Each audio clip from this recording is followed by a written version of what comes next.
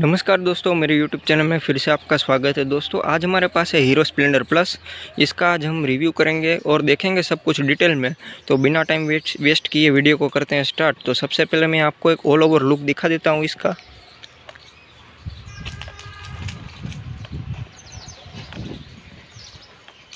यहाँ पे आपको काफ़ी अच्छा ऑल ओवर लुक देखने को मिलता है।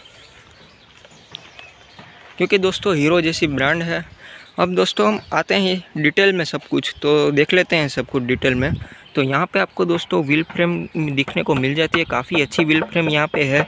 उसके बाद दोस्तों ये डिज़ाइन में भी काफ़ी अच्छी लग रही है, यहाँ पे आपको आई थ्री एस की ब्रांडिंग मिल जाती है। उसके बाद हम बात करें जंप की तो जंप काफ़ी अच्छे हैं, काफ़ी सही है, मैंने लगा के देखे हैं। काफ़ी आपको मस्त जंप मिल जाते हैं, काफ़ी अच्छे जंप मिल जाते हैं। अब दोस्तों बात करें इसकी इंडिकेटर की तो यहाँ पे आपको बूच दिया गया है इंडिकेटर में। तो अगर ये बाइक गिरेगी तो इसमें कुछ नुकसान वगैरह झेलने की नौबत नहीं आएगी आपको। दोनों ओर ऐसा ही है, वहाँ पर भी ऐसा ही है लास्ट में। यहाँ पर भी आपको बूच दिया गया है। यहाँ पे भी आपको बूच दिया गया है। अब दोस्तों हम बात कर लेते हैं इसके बोर्ड के बारे में। तो दोस्तों यहाँ पे आपको काफ़ी अच्छा बोर्ड देखने को मिलता है। यहाँ पे दोस्तों आपको हीरो की ब्रांडिंग देखने को मिलती है। उसके बाद दोस्तों स्प्लेंडर प्लस का ब्रांडिंग देखने को मिल जाता है। उसके बाद दोस्तों हम आते हैं इसकी बीम की ओर। तो यहाँ पर आपको एक और दो बीम देखने को मिल जाते हैं। अब दोस्तों, काफ़ी अच्छी बाइक है। अब अब हम आते हैं इसकी मीटर की ओर। दोस्तों, यहाँ पे आपको 140 तक की स्पीड दी गई है।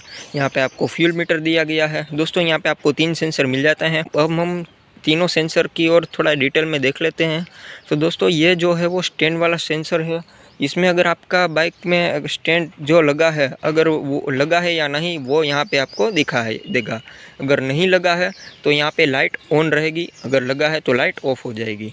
दोस्तों, यहाँ पे जो ये सेंसर दिया गया है, वो काफ़ी अच्छा सेंसर है। अगर आपकी बाइक बिगड़ती है तो यहाँ से आपको पता चल जाएगा, ये लाइट ऑन हो जाएगी। अगर आपकी बाइक फ्री है या नहीं, यहाँ से पता चल जाएगा।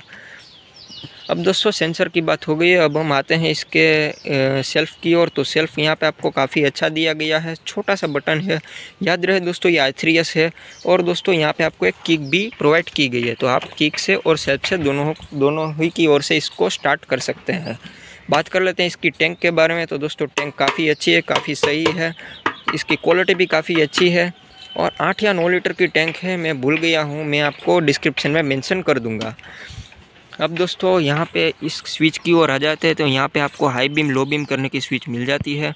उसके बाद दोस्तों, यहाँ पे आपको मिल जाते हैं इंडिकेटर की स्विच और उसके बाद दोस्तों, यहाँ पे हॉर्न की स्विच यहाँ पे आपको कोई डिपर वगैरह की एक्स्ट्रा स्विच देखने को नहीं मिलती है। बात करें इसके शीशों के बारे में तो यहाँ पे इसके शीशे थोड़े छोटे दिए गए हैं मिरर पर। काफ़ी अच्छे हैं, काफ़ी व्यू भी इसमें काफ़ी सही आ रहा है।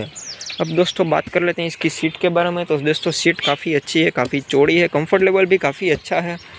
दोस्तों, यहाँ पे एक ग्रिल दी गई है। ग्रिल में दोस्तों, यहाँ पे आपको सामान वगैरह कुछ रखना है तो यहाँ पे इसको रख सकते हैं। हालाँकि इसको चेंज करवाना है तो आप कंपनी से चेंज भी करवा सकते हैं। यहाँ पे चेंज करना चेंज अगर करवाना है तो यहाँ पे ब्लैक ब्लैक फ्रेम यहाँ आ जाएगी, यहाँ तक की ये भाग निकल जाएगा। अब दोस्तों, यहाँ पे हम पीछे आ जाते हैं तो यहाँ पे पीछे आप देख सकते हैं काफ़ी अच्छा यहाँ पे फ़ैन ये व्हील फ्रेम यूज़ किया गया यहाँ पे एक रेडियम मिल जाता है, यहाँ पे आपको ब्रेक लाइट देखने को मिल जाती है, यहाँ पे भी इंडिकेटर है, वो मैंने आपको बता दिया है। दोस्तों, यहाँ पे एक ग्रिल मिल जाती है, जो कि काफ़ी अच्छी है और सेफ्टी वाइज भी काफ़ी अच्छी है ये। अगर लेडीज़ वगैरह पीछे बैठे हैं तो इसमें कोई दिक्कत आने वाली नहीं है। यहाँ पे आपको ये पैर रखने के लिए स्टैंड मिल जाते हैं, अगर हम इसके इंजन की बात कर ले, कर लेते हैं दोस्तों। तो दोस्तों, यहाँ पे इसकी इंजन जो है वो बी एस सिक्स के बेस पर बना है। दोस्तों, यहाँ पे आपको कोई भी कार्बेटर देखने को नहीं मिलता है, ना ही कोई काक देखने को मिलता है। यहाँ पे दोस्तों फ्यूल पंप के बेस पर ये बाइक का इंजन जो है वो चलता है। यहाँ पे एक फ्यूल पंप दिया गया है। दोस्तों, यहाँ पे इसकी एक कंडीशन है। आपकी बाइक में डेढ़ लीटर, यानी कि एक पॉइंट फाइव लीटर पेट्रोल रखना ही है तो ही ये बाइक चल पाएगी। ऑलवेज़ रखना है। दोस्तों, अब हम बात कर लेते हैं फाइबर की और स्टील की। तो कहाँ कहाँ स्टील यूज़ किया गया है कहाँ कहाँ फाइबर यूज़ किया गया है, वो मैं आपको दिखा देता हूँ। दोस्तों, अब पहले हम बात कर लेते हैं स्टील की। तो यहाँ पे ये, इसकी जो टैंक है, वो स्टील यूज़ किया गया है। अब दोस्तों इसका जो साइलेसन है वो भी स्टील यूज़ किया गया है। और इसकी जो चेसिस है, उसमें भी स्टील यूज़ किया गया अब दोस्तों, हम बात कर लेते हैं इसके फाइबर की। तो यहाँ पे फाइबर यूज़ किया गया है, यहाँ पे फाइबर यूज़ है, यहाँ पे फाइबर यूज़ है, यहाँ पे फाइबर यूज़ है। और दोस्तों, यहाँ पे भी फाइबर यूज़ है। दोस्तों यहाँ पे फाइबर यूज़ है और यहाँ पे भी फाइबर यूज़ है। दोस्तों, मैं आपको बता देता हूँ, इसमें क्यों फाइबर यूज़ किया जाता है कंपनी वाले क्यों आखिर फाइबर यूज़ करते हैं। दोस्तों, गाड़ी की एवरेज को बढ़ाने के लिए यहाँ पे उसका वज़न कम कर देते हैं। जहाँ पे स्टील की ज़रूरत होती है, वहाँ पे तो दे देते हैं, यानी कि मेनली टैंक में चेसिस में। पर दोस्तों, जहाँ पे स्टील की ज़रूरत नहीं होती है, वहाँ पे वो फाइबर यूज़ करते हैं, क्योंकि फ़ाइबर यूज़ करेंगे तो इसका वज़न जो है वो थोड़ा कम हो जाएगा। अगर यहाँ पे फाइबर के अलावा अगर स्टील यूज़ करते हैं तो इसका वज़न ज़्यादा हो जाएगा तो गाड़ी जो है एवरेज नहीं पकड़ पाएगी। इसीलिए एवरेज को बढ़ाने के लिए यहाँ पर फाइबर यूज़ किया जाता है। दोस्तों, काफ़ी अच्छी बाइक है, काफ़ी सही बाइक है और दोस्तों, थोड़ी दिखने में थोड़ी छोटी है और Honda C D one one zero के मुताबिक थोड़ी छोटी है। पर दोस्तों, काफ़ी अच्छी है, इतनी भी छोटी नहीं है, मैं कहता हूँ पर काफ़ी अच्छी बाइक है यहाँ पे। दोस्तों, अगर हम इसकी प्राइस के बारे में बात करें तो यहाँ पे दोस्तों इसकी प्राइस जो है वो seventy five seventy four thousand के आसपास है। और दोस्तों इसकी एवरेज की बात करें तो दोस्तों यहाँ पे इसकी एवरेज सिक्सटी फाइव और सिक्सटी के आसपास आती है।